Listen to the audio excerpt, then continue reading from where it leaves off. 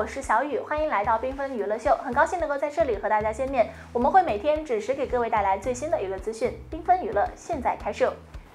鞠婧祎呢，也是娱乐圈非常有名的一位九零后女星了，但是她却经常挨骂、挨背黑锅，当真是对应上了“人红是非多”这个词儿了。但是有些挨骂是没有道理可言的，比如说有很多人在看了鞠婧祎演的剧之后，就表示鞠婧祎一点演技都没有，可情况真的是如此吗？若不是看了《如懿芳菲》的话，估计真的是要被那些人带偏印象了。事实上啊，鞠婧祎的演技还是相当到位的，特别是她的眼神，仿佛是会说话一样，观众只要看到了她的眼神，就能够瞬间的读明白女主角这时候的情绪状态了。回到《如懿芳菲》的剧情当中，这一场洞房刺杀戏是鞠。婧祎和张哲瀚高手过招的作品。根据剧情的安排，鞠婧祎扮演的女主角呢是故意接近张哲瀚扮演男主角的，并且在男主角没有提防她的时候上演刺杀好戏。所以这时候可以看到鞠婧祎的眼神，我们可以看出来她显得异常的挣扎，心理的状态一方面是很紧张的，另外一方面呢是她能够感受到对方的爱意，但是她为了报仇又必须把对方给杀死。不过男女主角的武功差距太大了，因此这个刺杀的动作马上就被拦住了。所以这个时候鞠婧祎的眼神里边就有了惊慌的情情绪，并不是单纯的瞪大眼睛。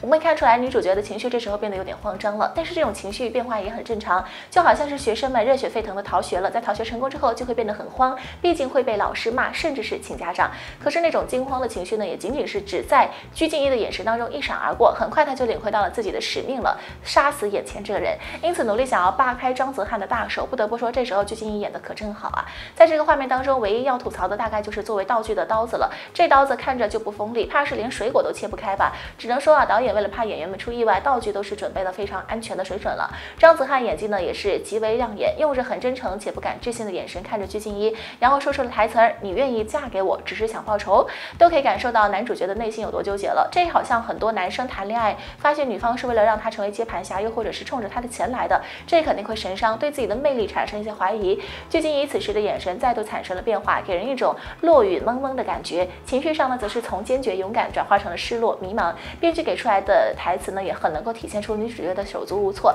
告诉我真相，说明女主角对男主角还是有爱意在里面的，这也符合了人非草木，孰能无情的常理。毕竟男主角对待女主角那么好，只要不是被良心遮掩住了，那么肯定会良心发现的。这也是剧情当中为什么女主会在大婚之夜动手的原因吧。除了大婚之夜是男主警惕性最低的时候，还有点就是结婚后有着一夜夫妻百夜恩的说法，一旦结婚过上了安稳甜蜜的日子了，那么女主肯定就舍不得动手了。剧情接下来的转折呢，到了张哲瀚的台词说。动手吧！在听到了张哲瀚委屈巴巴的语气之后呢，鞠婧祎哭出来了。这也是看得出来鞠婧祎演技进步的一点。只要是情绪酝酿到位了，就可以哭出来，给人一种很真实的感觉。在剧情当中，这也是女主角情绪上的进一步转变。后来，张哲瀚拿着鞠婧祎手上的刀子刺破了她衣服里边的番茄酱之后呢，也是说出了最感人的台词：“此非长命，乃长情。”面对那么有情有义的如意郎君，谁还真的下得了狠手呢？于是，鞠婧祎在放下刀子之后，整个人干坐在床边，脸上也是露出了后悔莫及的表情。观众自然也就可以轻易的解读出来女主角此时的情绪变化了，那就是搞清楚真相，知道自己愧对了如意郎君之后，又是心痛又是恐慌的心理状态。不得不说，鞠婧祎的眼神戏实在是太到位了，跟张哲瀚这一场对手戏较量丝毫不落下风，能够清晰的让观众们理解到了人物的状态，并且一点都不出戏，能够演出这种眼神有戏、情深意动的状态，相信鞠婧祎也是是时候摆脱流量的标签。了，今后他出演的作品，相信也会越来越好看了。当然了，鞠婧祎能够演技进步越来越大，也是要多亏了这些喷子吧。正是因为有许多喷子不断的喷他的演技差，这才让他变得更加的积极努力，让自己的演技有进步了。